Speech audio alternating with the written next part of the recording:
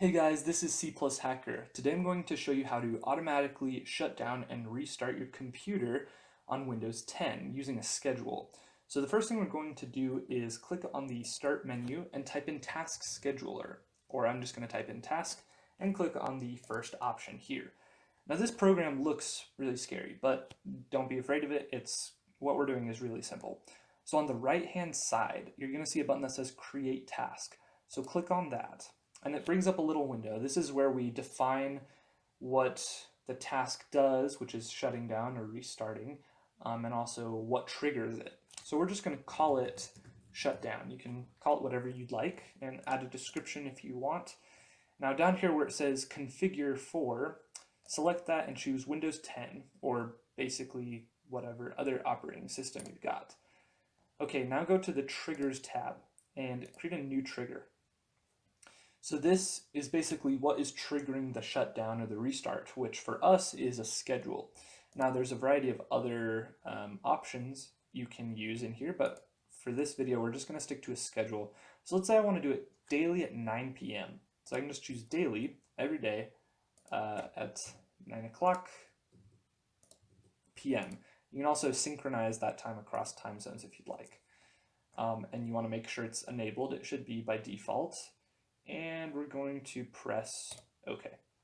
All right, so we've created our trigger. Now we need to make the action of actually shutting down. So let's click New. So what we want it to do is uh, start a program, um, and we're going to type in a little script here.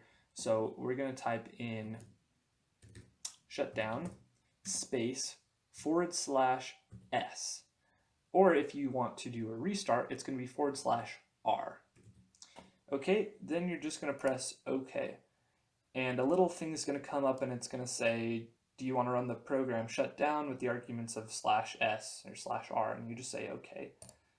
Um, okay, and then we want to go to our conditions. So conditions is basically more triggers pretty much or more customization as to what you when you want it to work. Now this is important if you're using your computer and you don't want it to shut down at the scheduled time if you're using it.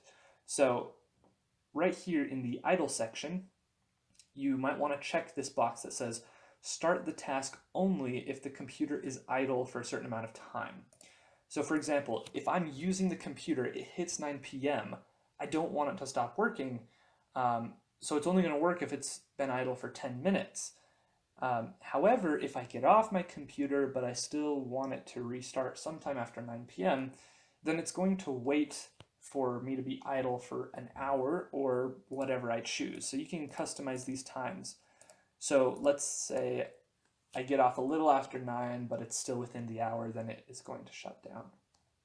Okay, um, now there's some other important options, things like only doing the task if you're plugged in, or not doing it if you're on battery power, um, or doing it on a specific um, internet network, basically.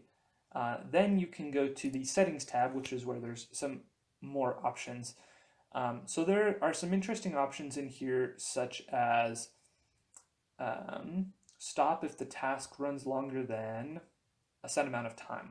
So for example, if the command runs and tells the computer to shut down, but for some reason it doesn't work or it is being really slow, it takes a long time, this will force that to stop doing it after so long. So I can say an hour. So essentially it's not going to hurt your computer because it's going to keep trying to run this task. So if it doesn't work, which is unlikely, um, but if it doesn't, then it will turn off after the set amount of time. Okay, and then this um, other checkbox will, will force it to, um, to shut down um, if it doesn't, if the first one doesn't work. Um, and then there is another setting uh, right in the, let me see, I believe it's triggers, whoops. Okay, so I forgot to mention something in the triggers menu, there's an option to expire, which basically delete or not deletes, but disables the task at a certain time. So let's say you only want it to restart nightly for a week, and then you want it to be done. Well, you can set the expiration date for in a week, and then it will just disable it and not do it. Okay, so we've set up our task. You can press OK.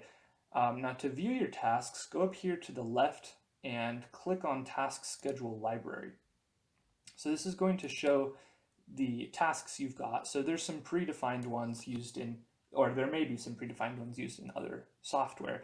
But here's ours. It says shut down. Um, it's ready to go, and it's going to do it at 9 p.m. every day.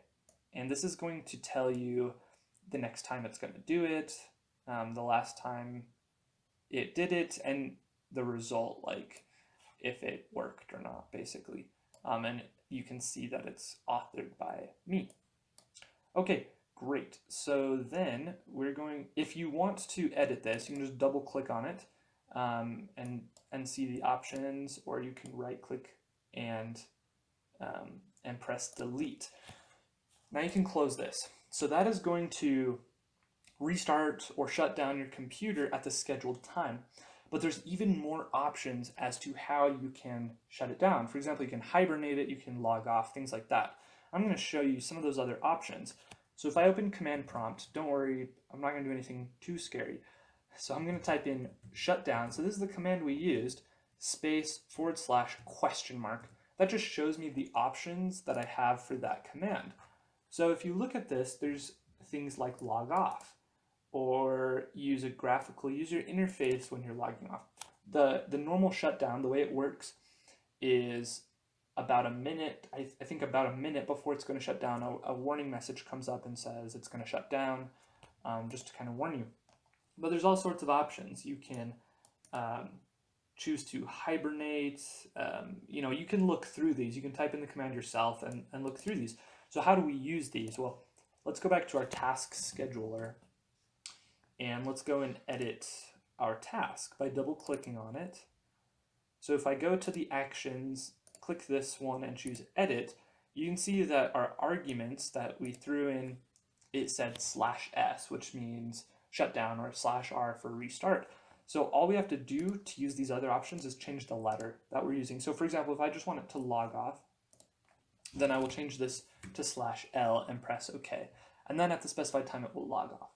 Um, so that's what you can do. So I hope you guys enjoyed this video. If you did, please give it a thumbs up and subscribe to see more things like this. And until next time, peace.